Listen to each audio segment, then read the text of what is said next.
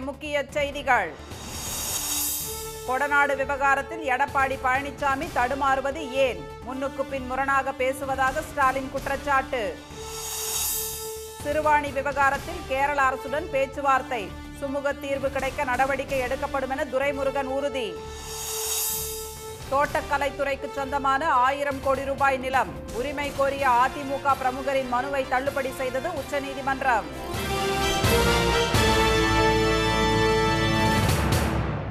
வணக்கம். வணக்கம். கொடநாடு கொலை கொள்ளை விவகாரத்தில் எடப்பாடி திரு பழனிசாமி தடுமாறுவது ஏன் என்று முதலமைச்சர் திரு மு க ஸ்டாலின் கேள்வி எழுப்பியுள்ளார். சட்டப்பேரவையில் உள்துறை மானிய கோரிக்கை மீதான விவாதத்திற்கு பதிலளித்த அவர் தமிழ்நாட்டில் சட்டம் ஒழுங்கு சிறப்பாக உள்ளதாக தெரிவித்தார். வந்தாரை வாழ வைக்கும் தமிழ்நாட்டில் புலம்பெயர்ந்த தொழிலாளர்களை மையமாக வைத்து உருவாக்கப்பட்ட மிகப்பெரிய மோதல் அரசின் வேகமான நடவடிக்கைகளால் தடுக்கப்பட்டதாக கூறிய திரு ஸ்டாலின் அது தொடர்பாக எடுக்கப்பட்ட நடவடிக்கைகளை பிற மாநில அரசுகளும் பாராட்டியதாக தெரிவித்தார். சட்டம் ஒழுங்கை பராமரிக்க துப்பாக்கிச் சூடு நடத்தியது எந்த ஆட்சியில் என்பதை மக்கள் அறிவார்கள் என்ற முதலமைச்சர் தூத்துக்குடியில் துப்பாக்கிச் சூடு நடத்த உத்தரவிட்டது யார் என்பதை பற்றி எதிர்க்கட்சித் தலைவர் எடப்பாடி திரு பழனிசாமி ஏன் மறைக்கிறார் என்று கேள்வி எழுப்பினார். நூறு நாட்கள் அமைதியாக நடந்த அந்த போராட்டத்தில் துப்பாக்கி சூட்டிற்கு உத்தரவிட்டது யார்? அதை மட்டும் எதிர்க்கட்சி தலைவர் ஏன் சொல்லவே மாட்டேன் என்கிறார். முதலமைச்சராக இருந்தபோதும் சொல்லலை. இப்போ எதிர்க்கட்சி தலைவராக ஆன பிறகும் அவர் சொல்ல விரும்பல. ஆனால் திமுக ஆட்சியில் துப்பாக்கிச் சூடு சம்பவங்களில் பொதுமக்கள் உயிரிழக்காதவாறு சட்டம் ஒழுங்கு நிலைநாட்டப்பட்டு வருவதாக திரு ஸ்டாலின் கூறினார். பத்து ஆண்டுகளாக வேரூன்றி இருந்த போதைப்பொருள் சாம்ராஜ்யம் திமுக அரசின் நடவடிக்கைகளால் சரிந்திருப்பதாகவும் முதலமைச்சர் தெரிவித்தார். பொள்ளாச்சி பாலியல் வழக்கு விசாரணையை உன்னிப்பாக கவனித்து விரைந்து முடிக்கப்படும் என்று கூறிய அவர் கொடநாடு வழக்கை விசாரிக்க கோரி சிபிஐக்கு போவதாக கூறும் எதிர்க்கட்சித் தலைவர் அவர் ஆட்சியில் இருந்தபோதே குற்றவாளி யார் என்பதை கண்டுபிடித்திருக்கலாமே என்றார். கொடநாடு விவகாரத்தில் எடப்பாடி திரு பழனிசாமி முன்னுக்கு பின் முரணாக தடுமாறுவது ஏன் என்று திரு ஸ்டாலின் கேள்வி எழுப்பினார். திமுக ஆட்சிக்கு வந்தபோது ரெண்டாயிரத்தி இருபத்தி ஒன்று செப்டம்பர் ஒன்பதாம் தேதி பேசிய எதிர்க்கட்சி தலைவர் அவர்கள் கொடநாடு வழக்கு நடத்துங்கள் வேண்டாம் என்று சொல்லவில்லை. புது விசாரணை செய்யுங்கள் நாங்கள் வேண்டாம் என்று சொல்லவில்லை என்று சொன்னார்கள். ஆனால் அவரே ஆகஸ்ட் பதினெட்டாம் தேதி பேசும்போது வழக்கு முடியும் தருவாயில் இருக்கும்போது எதற்காக மேல் விசாரணை செய்ய வேண்டும் என்று பேட்டியும் கொடுத்தார். இப்பொழுது சிபிஐக்கு போவேன் என்கிறார். எத்தனை முரண்பாடு? ஏன் இந்த தடுமாற்றம்? ஆண்டுகள் உருண்டோடியதால் சில விஷயங்களை வெளியே கொண்டு வர தாமதமாவதாக கூறிய முதலமைச்சர் சிபிசிஐடி விசாரணையில் முக்கிய தகவல்கள் வந்து கொண்டிருப்பதாக தெரிவித்தார். கொடநாடு விவகாரத்தில் உண்மை குற்றவாளிகள் யார்? விசாரணை முறையாக நடக்காமல் திசை திருப்பியது யார் என்பதை பற்றி விரைவில் தெரியவரும் என்றும் அவர் கூறினார். மக்களின் ஆசையை தூண்டி ஏமாற்றும் ஆருத்ரா போன்ற நிதி நிறுவனங்களை கண்காணிக்க உத்தரவிட்டிருப்பதாக கூறிய திரு ஸ்டாலின் மாநிலத்தின் சட்டம் ஒழுங்கை பாதிக்கும் யாராக இருந்தாலும் நிச்சயம் கடும் நடவடிக்கை எடுக்கப்படும் என்றும் தெரிவித்தார்.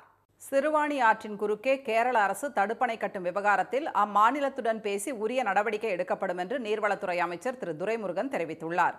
கோவை மாவட்ட மக்களின் முக்கிய குடிநீர் ஆதாரமாக உள்ள சிறுவாணி ஆறு கேரள மாநிலத்தில் உற்பத்தியாகிறது. இந்த ஆற்றின் குறுக்கே அட்டப்பாடி என்ற இடத்தில் தடுப்பணை கட்டும் நடவடிக்கையில் கேரள அரசு ஈடுபட்டுள்ளதாகவும் தொண்ணூறு சதவீதம் பணிகள் நிறைவடைந்து விட்டதாகவும் செய்திகள் வெளியாகின. இந்நிலையில் சட்டப்பேரவையில் இன்று நேரமில்லா நேரத்தில் இந்த பிரச்சனையை எழுப்பிய எதிர்க்கட்சித் தலைவர் எடப்பாடி திரு பழனிசாமி மற்றும் எதிர்க்கட்சி கொறடா திரு எஸ் பி வேலுமணி ஆகியோர் இந்த விவகாரத்தில் அரசு உரிய நடவடிக்கை எடுக்க வேண்டும் என்று வலியுறுத்தினர். இதற்கு பதிலளித்த திரு துரைமுருகன் எழுபது மில்லியன் கன அடி வரை நீரை தேக்கும் அளவுக்கு சிறுவாணி ஆற்றின் குறுக்கே கேரள அரசு அணை கட்டி வருவதாக தெரிவித்தார். இந்த விவகாரம் தொடர்பாக இரு மாநில அதிகாரிகளுடன் கூட்டு கள ஆய்வு செய்து நடவடிக்கை எடுக்கப்படும் என்று அவர் உறுதியளித்தார். நீர் பகிர்வு விவகாரத்தில் தமிழகத்தின் உரிமைகள் ஒருபோதும் விட்டுத்தரப்பட மாட்டாது என்று திரு துரைமுருகன் கூறினார். சிறுவாணி விவகாரத்தில் இரு மாநில நலன்களும் பாதிக்கப்படாமல் சுமூக தீர்வு கிட்டும் என்றும் அவர் தெரிவித்தார். தோட்டக்கலைத்துறைக்கு சொந்தமான நிலத்திற்கு உரிமை கோரி அதிமுக பிரமுகர் திரு. கிருஷ்ணமூர்த்தி தாக்கல் செய்த மேல்முறையீட்டு மனுவை உச்சநீதிமன்றம் தள்ளுபடி செய்தது. சென்னை கத்தீட்ரல் சாலையில் ஆயிரம் கோடி ரூபாய் மதிப்பில் தமிழ்நாடு அரசுக்கு சொந்தமான நூற்று பத்து கிரவுண்ட் நிலம் உள்ளது. அரசுக்கு சொந்தமான அந்த நிலத்தில் அதிமுக பிரமுகரான திரு. கிருஷ்ணமூர்த்தி தோட்டக்கலை சங்கம் என்ற அமைப்பை உருவாக்கி பயன்படுத்தி வந்தார். நிலத்தை மீட்க தமிழ்நாடு அரசு மேற்கொண்ட நடவடிக்கையை எதிர்த்து அவர் தொடர்ந்த வழக்கை விசாரித்த சென்னை உயர்நீதிமன்ற தனி நீதிபதி நீதிபதி அந்த நிலம் அரசுக்கு சொந்தமானது என தீர்ப்பளித்தார். இந்த தீர்ப்பை எதிர்த்து திரு. கிருஷ்ணமூர்த்தி தொடர்ந்த மேல்முறையீட்டு வழக்கை உயர்நீதிமன்றம் தள்ளுபடி செய்தது. இதையடுத்து தோட்டக்கலைத்துறைக்கு சொந்தமான நிலத்திற்கு உரிமை கோரி உச்சநீதிமன்றத்தில் அவர் தாக்கல் செய்த மேல்முறையீட்டு மனுவை இன்று மீண்டும் விசாரித்த நீதிபதிகள் மனுவில் எந்த முகாந்திரமும் இல்லை என கூறி தள்ளுபடி செய்தனர். உயர்நீதிமன்ற உத்தரவில் தலையிட விரும்பவில்லை என்றும் அவர்கள் கூறினர். ஆயிரம் கோடி ரூபாய் மதிப்பிலான நிலத்தை தமிழ்நாடு அரசு கையகப்படுத்த எந்த தடையும் இல்லை என்றும் உச்சநீதிமன்ற நீதிபதிகள் தீர்ப்பளித்துள்ளனர். சட்டப்பேரவை நிகழ்வுகளில் எதிர்க்கட்சியினருக்கு போதுமான நேரம் ஒதுக்கப்படுவதாக பேரவைத் தலைவர் திரு. அப்பாவு விளக்கம் அளித்துள்ளார். சட்டப்பேரவையில் எதிர்க்கட்சித் தலைவர் பேசுவதை நேரலையில் ஒளிபரப்ப வலியுறுத்தி அதிமுகவினர் இன்றும் அமளியில் ஈடுபட்டு வெளிநடப்பு செய்தனர். பின்னர் செய்தியாளர்களை சந்தித்த அவர்கள் சட்டப்பேரவையில் தங்களது கருத்துக்களை கூற போதிய வாய்ப்பு வழங்கப்படவில்லை என குற்றஞ்சாட்டினர். இந்த குற்றச்சாட்டு குறித்து விளக்கம் அளித்த பேரவைத் தலைவர் திராப்பாவு சட்டப்பேரவையில் என்ன நடக்கிறது என்பது மக்களுக்கு தெரியும் என கூறினார். அதிமுக ஆட்சியை விட இந்த ஆட்சியில் எதிர்க்கட்சிகளுக்கு முக்கியத்துவம் அளிக்கப்படுவதாக அவர் தெரிவித்தார். எந்த அளவில் பத்தாண்டு காலம் நடைபெற்ற சட்டமன்றத்தை இப்போது ஜனநாயக ரீதியாக நடத்த வேண்டும் மாண்புமிகு முதல்வர் சொல்லி ஒருபோது கூட எதிர்க்கட்சி உறுப்பினர்களுக்கு பேசுவதற்கு வாய்ப்பை பல முறை நான் அதிகமாக கொடுத்தும் பெல் அடித்து நிறுத்தும் போது கூட முதல்வர் இன்னும் ஐந்து நிமிடம் ரெண்டு நிமிடம் கொடுங்கள் என்று சொல்லுகின்ற அளவிற்கு தான் அவர்கள் தொடர்ந்து அந்த வாய்ப்பை கொடுத்து ஜனநாயக மாண்பை காத்திருக்கின்றார்கள். ஜனநாயக முறைப்படியே சட்டப்பேரவை நடைபெற்று வருவதாக திரு அப்பாவு தெரிவித்தார்.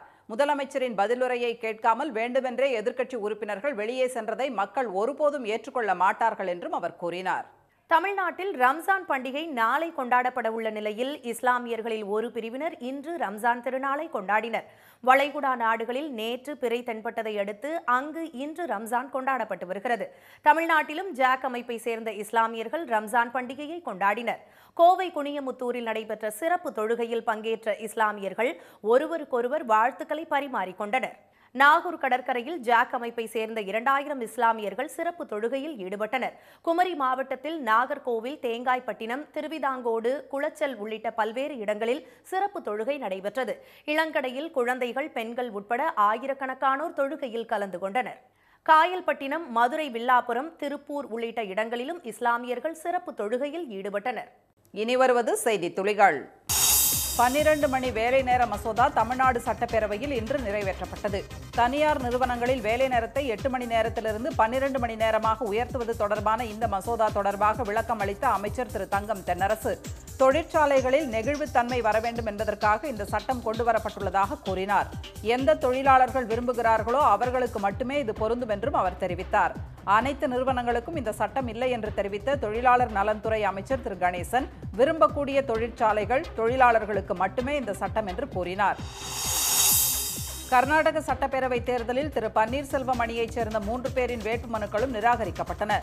புலிகேசி நகரில் அதிமுக வேட்பாளராக திரு. அன்பரசன் போட்டியிடுவார் என எடப்பாடி திரு. பழனிசாமி அறிவித்திருந்தார்.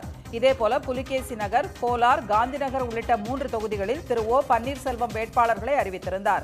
இந்த நிலையில் அவர்களின் மனுக்கள் தள்ளுபடி செய்யப்பட்ட நிலையில் புலிகேசி நகரில் திரு. அன்பரசனின் மனு ஏற்கப்பட்டுள்ளது. புதுச்சேரியில் ஒன்று முதல் எட்டாம் வகுப்பு வரை அனைத்து மாணவர்களும் தேர்ச்சி பெற்றதாக அறிவிக்க வேண்டும் என அம்மாநில கல்வித்துறை உத்தரவிட்டுள்ளது. இது தொடர்பாக புதுச்சேரி பள்ளி கல்வித்துறை இணை இயக்குநர் திருமதி சிவகாமி வெளியிட்டுள்ள அறிக்கையில் புதுச்சேரி மற்றும் காரைக்காலில் உள்ள பள்ளிகள் இதனை அமல்படுத்த வேண்டும் என கூறியுள்ளார். ஒன்பதாம் வகுப்பு மாணவர்களை பொறுத்தவரை அவர்கள் ஆண்டு இறுதித் தேர்வில் முப்பத்தி ஐந்து சதவீத மதிப்பெண்கள் பெற்றிருந்தால்தான் தேர்ச்சி பெற்றதாக அறிவிக்கப்பட வேண்டும் என்றும் அவர் உத்தரவிட்டுள்ளார். ஒடிஷாவில் ஓய்வூதியம் பெறுவதற்காக எழுபது வயது மூதாட்டி ஒருவர் கடும் வெயிலில் உடைந்த நாற்காலியை பிடித்தபடி வெறுங்காலில் வங்கிக்கு நடந்து செல்லும் காட்சி அதிர்ச்சியை ஏற்படுத்தியுள்ளது. நப்ரங்பூர் பகுதியைச் சேர்ந்த சூரிய ஹரிஜன் என்ற அந்த மூதாட்டி ஏழு கிலோமீட்டர் தூரம் நடந்து சென்று வங்கியில் பணம் எடுக்க சென்றபோது அவரது விரல் ரேகை ஒத்துப்போகாததால் கைரேகை வைத்து பணத்தை எடுக்க முடியவில்லை. இதையடுத்து தற்போதைக்கு மூன்றாயிரம் ரூபாயை வழங்கிய வங்கி அதிகாரிகள் மூதாட்டியின் பிரச்சினைக்கு தீர்வு காணப்படும் என உறுதியளித்துள்ளனர். பஞ்சாபில் குடை மிளகாய் கிலோ ஒரு ரூபாய்க்கு கொள்முதல் செய்யப்படுவதால் ஆத்திரமடைந்த மான்சா பகுதி விவசாயிகள் குடை மிளகாயை சாலையில் கொட்டி ஆர்ப்பாட்டத்தில் ஈடுபட்டனர். ஏக்கருக்கு ஒரு லட்சம் ரூபாய் வரை செலவு செய்த நிலையில் அதிக விளைச்சல் காரணமாக குடை மிளகாய் விலை வீழ்ச்சியடைந்துள்ளதால் விவசாயிகள் பெரும் நஷ்டத்தை சந்தித்துள்ளனர். குமரி மாவட்டம் தோவாளை மலர்ச்சந்தையில் பிச்சிப்பூ விலை நான்கு மடங்கு உயர்ந்துள்ளது. கடும் வெயில் காரணமாக பிச்சிப்பூக்கள் செடியிலேயே கருகிவிடுவதால் மலர் சந்தைக்கு வரத்து வெகுவாக குறைந்துள்ளது. அதே சமயம் தொடர் சுபதினங்கள் வருவதால் பிச்சிப்பூவின் தேவை அதிகரித்திருப்பதை அடுத்து சில தினங்களுக்கு முன்பு கிலோ ஐநூறு ரூபாய்க்கு விற்கப்பட்ட பிச்சிப்பூ இன்று ஆயிரத்தி எண்ணூறு ரூபாய்க்கும் சில்லறை விலையில் இரண்டாயிரம் ரூபாய்க்கும் விற்பனை செய்யப்படுகிறது.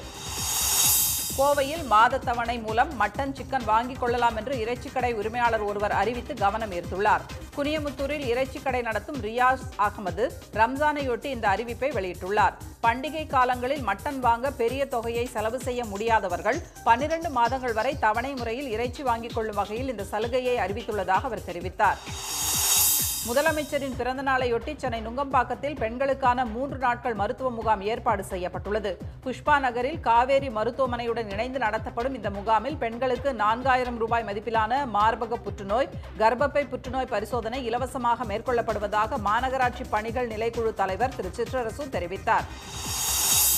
சீர்காழி சட்டநாதர் கோயிலில் கிடைத்த சிலைகளும் செப்பேடுகளும் தொல்லியல் துறை இறுதி ஆய்வுக்கு பிறகு வேறு இடத்திற்கு கொண்டு செல்லப்படும் என மயிலாடுதுறை மாவட்ட ஆட்சியர் திரு. மகாபாரதி தெரிவித்துள்ளார். யாகசாலை அமைப்பதற்காக பள்ளம் தோண்டிய போது கிடைத்த இருபத்தி இரண்டு சிலைகளும் நானூற்று அறுபத்தி இரண்டு செப்பேடுகளும் தற்போது கோயிலில் பலத்த பாதுகாப்புடன் வைக்கப்பட்டுள்ளன. இதனை இன்று ஆய்வு செய்த ஆட்சியர் தொல்லியல் துறை பரிந்துரைப்படி அடுத்த கட்ட நடவடிக்கை இருக்கும் என தெரிவித்தார். தனியார் பள்ளிகள் முறைப்படுத்துதல் சட்டம் மற்றும் விதிகளை அமல்படுத்தும் நடவடிக்கையில் தற்போதைய நிலையை நீடிக்க சென்னை உயர்நீதிமன்றம் உத்தரவிட்டுள்ளது.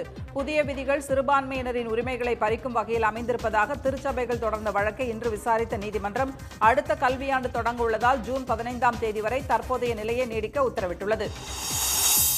புதுச்சேரி பெருமாள் கோயில் வீதியில் உரிய அனுமதியின்றி இயங்கிய தனியார் மதுபான கடையை நகராட்சி அதிகாரிகள் பூட்டி சீல் வைத்தனர். மக்கள் குடியிருக்கும் பகுதியில் இரவு நேரங்களில் அதிக அளவு சத்தத்துடன் இயங்கியதாக புகார் எழுந்த நிலையில் ஆணையர் உத்தரவிட்டதை அடுத்து நகராட்சி ஊழியர்கள் கடைக்கு சீல் வைத்தனர். காங்கிரஸ் முன்னாள் தலைவர் திரு ராகுல் காந்தியின் எம்பி பதவி பறிக்கப்பட்டதை எதிர்த்து காங்கிரஸ் கட்சியினர் ஈரோட்டில் தபால் நிலையத்திற்கு பூட்டு போடும் போராட்டத்தில் ஈடுபட்டனர். பாஜக அரசை கண்டித்து முழக்கமிட்டு தபால் நிலையம் நோக்கி சென்றவர்களை போலீசார் தடுத்து நிறுத்தினர். திருப்பூர் மாவட்டம் புதூர் பஞ்சாயத்துக்குட்பட்ட சின்னூர் கிராமத்தில் இருபது நாட்களாக குடிநீர் வழங்காததை கண்டித்து பல்லடம் பொள்ளாச்சி சாலையில் காலி குடங்களுடன் ஐம்பதுக்கும் மேற்பட்ட பெண்கள் சாலை மறியலில் ஈடுபட்டனர். குடிநீர் வழங்க நடவடிக்கை எடுக்கப்படும் என்று அதிகாரிகள் உறுதியளித்ததால் அனைவரும் கலைந்து சென்றனர். தமிழ்நாட்டில் ஆங்காங்கே கோடை மழை பெய்து வரும் நிலையில் உதகையில் ஒரு மணி நேரத்திற்கு மேலாக மழை கொட்டியது. நெல்லையில் வெளுத்து வாங்கிய மழையால் சாலைகளில் தண்ணீர் பெருக்கெடுத்தது. திண்டுக்கல் சுற்றுவட்டாரத்தில் பெய்த பலத்த மழையால் விவசாயிகள் மகிழ்ச்சி அடைந்தனர். பழனி வேலூர் உள்ளிட்ட இடங்களிலும் கோடை மழை பெய்தது. இந்நிலையில் தமிழ்நாட்டில் அடுத்த நான்கு நாட்களுக்கு இடி மின்னலுடன் மிதமான மழைக்கு வாய்ப்புள்ளதாக சென்னை வானிலை மையம் தெரிவித்துள்ளது. சென்னையில் நாளை ஓரிரு இடங்களில் மிதமான மழை பெய்யக்கூடும் என்றும் தெரிவிக்கப்பட்டுள்ளது. இன்றைய வர்த்தக முடிவில் மும்பை பங்குச்சந்தை குறியீட்டு எண் சென்செக்ஸ் இருபத்தி மூன்று புள்ளிகள் அதிகரித்து ஐம்பத்தி ஒன்பதாயிரத்து அறுநூற்று ஐம்பத்தைந்து புள்ளிகளாக இருந்தது. தேசிய பங்குச்சந்தை குறியீட்டு எண் நிப்டி புள்ளிகள் மாற்றமின்றி பதினேழாயிரத்து அறுநூற்று இருபத்தி நான்கு புள்ளிகளாக இருந்தது. சென்னையில் இன்று ஆபரண தங்கம் விலை சவரனுக்கு நூற்றி இருபது ரூபாய் அதிகரித்து நாற்பத்தி ஐந்தாயிரத்து முன்னூற்றி இருபது ரூபாயாகவும் ஒரு கிராம் ஐந்தாயிரத்து அறுநூற்று அறுபத்தைந்து ரூபாயாகவும் உள்ளது. வெள்ளி விலை கிராமுக்கு முப்பது காசுகள் உயர்ந்து எண்பத்தி ஒரு ரூபாய் முப்பது காசுகளாக உள்ளது. மீண்டும் இன்றைய முக்கிய செய்திகள்.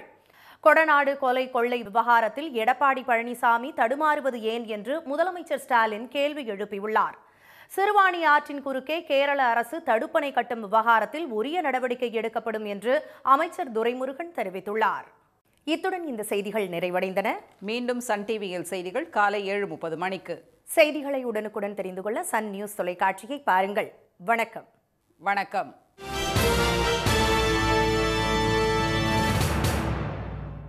உடனுக்குடன் செய்திகளை தெரிந்து கொள்ள சன் நியூஸ் பெல் ஐக்கான கிளிக் பண்ணுங்க.